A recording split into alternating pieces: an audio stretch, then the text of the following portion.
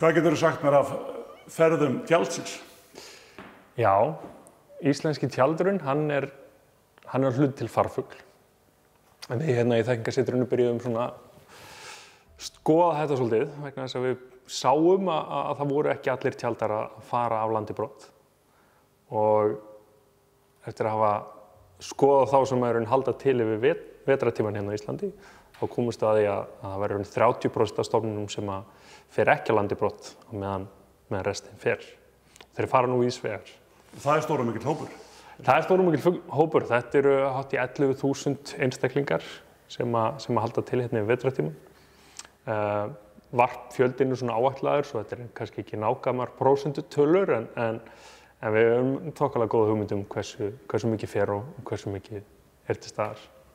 Hvar er hann að halda sig hérna á Íslandi? Hann er aðalega hérna í Faxaflóðunum og í Breiðafyrði og, og, og það er það er svona þessar stóru leirur sem við köllum þar sem að, þar sem að um, við erum með mikla kræklingabreiður eða, eða, eða erum fæðið til staðar fyrir þessa fugla. En þeir sem að leggjast í ferðarlag, hvert fara þeir?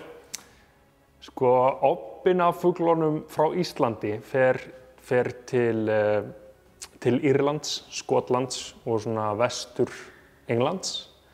Uh, einstaka fuglar fara nú ennþá lengra, jafnvel til Spánar, uh, Íbríu Skagan og, og, og Frakland. En, en oppin er Írlands megin.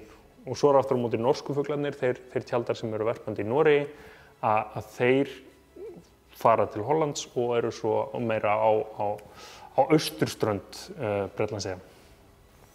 En svona hvernig er með, með ástir hérna, tjaldsins? Er hann trúr magga? Hann er það, hann er það. Hann er, hann er mjög trúr magga uh, og, og, og svona ef, ef allt gengur vel þá, þá, þá, þá heldur hann til sam, við saman maggan alla, alla æfi. En, en við erum að sjá skilnaði og, og það er herra hlutfall heldur við áttum von á. Það að hátt, hátt í 20% er, er að eiga, já, það er að koma skilnaði fram í, í kringum 20% fuggla. Það er eitthvað sem við mötum að skoða eins betur.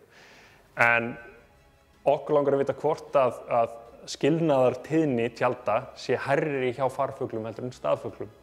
Vegna þess að við vitum að staðfuglarnir eru að koma fyrr á óðurinn sín. Þeir eru jafnvel að mæta núna, núna er svona janúar, februar, þá eru þeir að mæta óðurinn, meðan farfuglarnir eru ekki ennþá komin til lands.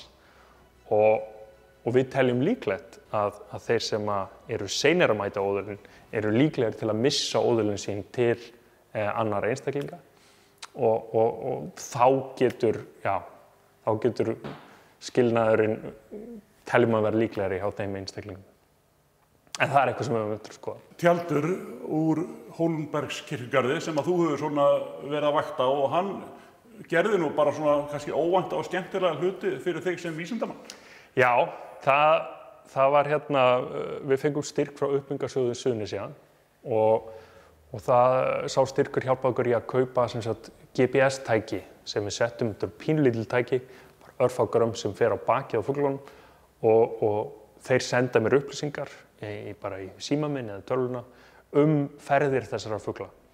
Og við höfum getað fylgst með ferðum þessara hvað, 16 einstaklinga og þaraf var eitt parið verpandi í, í, í þessum tiltegna kirkgarði og, og allt gekk vel. Svo, svo stundaði far og reyndar uh, deyr makinn á, á farinu suður eftir. En hinn einstaklingurinn sem að fer ekki á sama stað en, en þeir voru í þessu tililli báðir farfuglar. Hann, hann fer á sína hefðbundu veturstöð sem er Belfast, hub, hub Belfast í, í norður Írlandi og heldur þar til yfir veturinn og allt gengur vel. En svo í vorfarinu þá, þá lendir hann í, í vondu veðri um, hvað norð, norðvestur á færiðum og, og missir stefnuna. Og, og hann endar í, í norður Noregi. Og, og það er svo ríkt í þeim að byrja varpið að, að, að hann vildi komast á, á sitt óðal í Keflæk en, en því miður þá bara gekk það ekki upp. Svo hann gerði ídrekað tilurinn til að komast út á sjó í, í Noregi, ferðaðist upp og niður norður Noregi til söður Noregs. Allt sumarið, flög hátt í 14.000 km sem er mjög óvanlegt fyrir tjálta þessum tíma árs. Og, og svo þegar leiða að hausti, þá átti hann að stunda haustfarið. Og í stað þess að fljúa frá, frá Keflavík, kannski niður til Víki Mýrdal og, og taka þar stefnuna á Belfast, sem er vanlega að gera, þessi einstaklingur, þá, þá tekur hann sumu stefnu nema frá kolvilli sem byrjun á punti og, og flýgur fram hjá Danmörku, eh, fer inn í Þýskaland, flýgur svo í, yfir, yfir til eh, Rotterdam í Hollandi, heldur það til fyrir utan veitingastæði nokkra daga og, og svo yfir Belgíu og hefur núna haf, haldið sig í, í Fraklandi með ósa sign í alla veitur. Og þú náttúrulega kannski bara býður núna spenntur eftir hvað hann gerir, heldur að hann rati aftur heim til Keflavíkur? Það er spurning, hvort hann, hvort hann krossi yfir Ermasundið og, og, og farið til Breitland segja já og haldið svo áfram til Keflavíkur. Það væri óskandi, en, en svo getur náttúrulega verið að hann sé bara orðin rónskur ríkisborgari og, og tækja sumi stefnið tilbaka. En við sjáum það eftir orðfárvíkur.